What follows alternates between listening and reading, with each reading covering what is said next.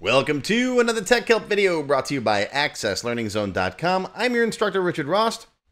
Today's part four of my series on taking attendance. So go watch parts one through three and then come on back.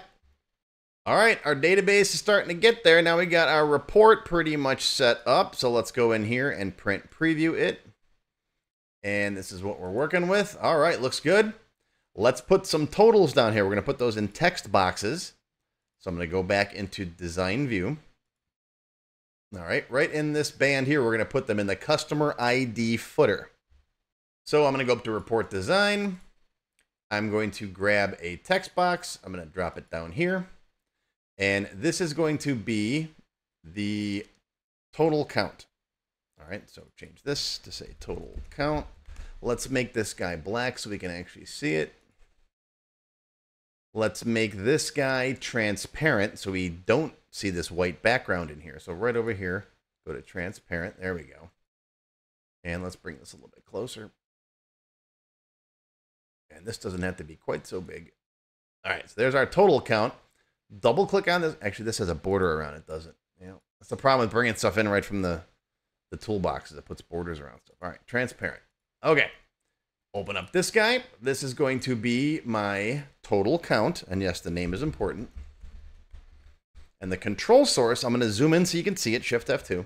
The control source is going to be equals. We're going to use the count function. And what are we counting? Well, everything. We're going to count the number of records that appear in the section above that, which in this case is the detail section. And that's how you represent it. Count of star inside of double quotes. Okay. Let's save it, see if it looks good. Print preview. There we go. There's our three, and we got a box to get rid of again. All right. So everybody should have a three. That's fine. That's normal. All right. Back to design view. Let's get rid of that box. Format. Shape outline. Transparent. Okay. Now let's copy and paste this guy. Copy, paste. See, that's it used to be able to go copy and then paste and it puts it right below it. Sometimes it does, sometimes it doesn't. Sometimes you gotta go copy, click, paste. And even then it doesn't work. Ugh. Access team, you got a bug here. I should be able to go copy and paste. So let's work on that. There it goes. Okay. See? I just clicked and, and highlighted just the text box and copied, click, paste. This behavior is it's it's not you if you're not crazy. It drives me nuts too sometimes. This this copy paste behavior is is it's all over the place. It's wild. All right, now for this one, this is going to be our present count. All right, you can call it present count or just present. That's fine. Whatever you want. And slide that up like that. Actually, let's right align these guys. Format right align. There we go. Looks better. All right, now for present count, we can't just count this because it'll give you three every time. There's always going to be three of these, but the value is going to be either true or false. Now, if you know the way that data is stored internally, it helps you understand how to count the checkboxes. So internally, a yes or no field, no, false, is zero, and true, you'd think it's one, but it's negative one. Why they do it that way, it's a long story. I'm not going to go into it now. Some other database systems use one as true, like SQL Server uses one. That always throws me because I'm used to access being negative one. So now that we know that it's negative one for a true, what we can do is add them up using the sum function. So we're going to count up the number of presents there are using sum. We're going to add them all up and then multiply that result by negative 1 to flip it. Okay, so this is going to be and then we're going to call this guy, the name of this one's going to be present count, because we already have a field called present, right? So the control source is going to be equals the sum of present times negative 1. All right, add up all the values of all the present fields, and then give me the negative of that. Save it, right click, print preview, and look at that two, three. This guy should be one. Yep. Yep. Okay. Looking good so far. Let's bold these. Actually, no, let's bold the numbers. Where's bold? Uh, format. Bold. All right, we got one more to do. And in fact, I'm going to move this over here like that. Let's put them side by side. Takes up less space, right? Okay, now absences are next. Absences are easy. We just subtract that from that, right? So let's copy, paste. See, you get, uh, uh. click on the text box, copy, paste. I don't like that. it didn't used to work like that, Access team. All right. Absent is going to be absent count. I'll zoom in again. This is going to be equals total count minus present count. That's why I said those names are important. I used to not, back in the day, I used to not bother naming my boxes unless I was going to refer to them somewhere else because you don't want to refer to something as text 4. That's completely useless, right?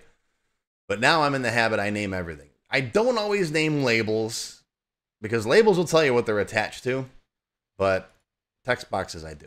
All right, save it, right click, print preview, and there you go. Uh, let's bring them a little closer to the number. Design view this guy, this guy, this guy, we're going to format left. This guy, this guy, this guy, we're going to format right. They already are. Okay, let's see if it looks better now. There we go. And you can rearrange them if you want. Put total count on the. I, I think absent to me is the most important value. Okay, want to get the whole thing for the whole class? Well, we got another footer down here. Now, you can't put this in the page footer. There's a lot of reasons why you can't do calculations in the page footer. There are some exceptions, and I got some different videos on that. But for today, we're not going to bother with the page footer. We are going to use the report footer. This will give you the complete total report of everything. Very similar. We can use these boxes. In fact, we just got to rename things slightly. So copy all of this. Let's see if we let's see if we can copy, click, paste. Okay, good. It let us get away with it. Sometimes it does. Sometimes it doesn't. Who knows? Okay, so now this guy, the formula is going to be the same. We're still counting everybody above it. It just happens to be this is the report footer, so the, the stuff above it is the entire report. But we got to rename it so we can calculate stuff properly. This is going to be the report total count. This one is going to be the present or report present count. And this one is going to be subtracting those two. So we'll call this one report absent count, and it's going to be equals the report to report total count. See, one of the benefits of not using the zoom box is you can see it in the, the little IntelliSense that drops down there. You lose that with the zoom box. Hey, Access Team, that'd be a great feature for you to add. Put IntelliSense in the zoom box. I use it all the time for teaching minus report uh, present count. There it is. All right. Save it. Close it. This time we are going to close it. Let's open it back up again. And there's our totals for everybody. Whoops. Click. There's our totals for everybody. Wish you could make these borders thicker. I have a hard time grabbing that. Looks good. Total of 18. You could put percentages over here. You know, what percentage of classes they made. I mean, there's all kinds of stuff you can do. Now, how do we open up this report from here? Well, we just make another button, Design View. And then we're going to grab a button, click it there. We're going to report operations, preview report. I always like to open up my reports in preview mode because then if I like them, I can print them. You can make a button that'll directly print it if you're confident. if it's the same report you generate every day and you don't want to have to look at it and then hit print, if you don't mind wasting paper, you can make a button. I prefer just doing previews. I hardly ever print stuff. I rarely ever print stuff. What report do you want? That's our attendance R. I'm going to put in here attendance report. Next, give it a meaningful name. Attendance R button. And then finish. And there's your button. And there you go. Save it, close it, open it. I'm going to shrink up that ribbon again and click the button. There it is. Now, there is a little minor issue. I just noticed it. If you look, these are not sorted. So we can add a sorting level in our report. All right, let's go back into design view. Now, right now, we are grouping on customer ID, but we're not sorting on anything really. If you take a look at it, right? We're going to print preview, right? Richard Rost, James Kirk, whatever. these are actually coming in sorted by, I believe, customer ID. All right, so we got to sort by that, then sort by the date inside, because notice these dates are all scrambled too. All right, so we'll talk about sorting all of this, and I got a couple more tricks for you. And we'll talk about that in tomorrow's class. You know the drill. Tune in tomorrow, same bad time, same bad channel. Members, eh, you can watch it tonight. I'm still working on it. But that is going to do it for your tech help video for today. That's part four. Hope you learned something. Live long and prosper, my friends. I'll see you tomorrow for part five.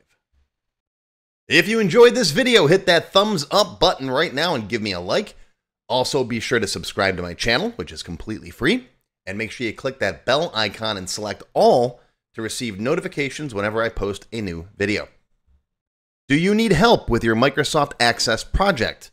Whether you need a tutor, a consultant, or a developer to build something for you, check out my Access Developer Network. It's a directory I put together personally of Access experts who can help with your project. Visit my website to learn more. Any links or other resources that I mentioned in the video can be found in the description text below the video.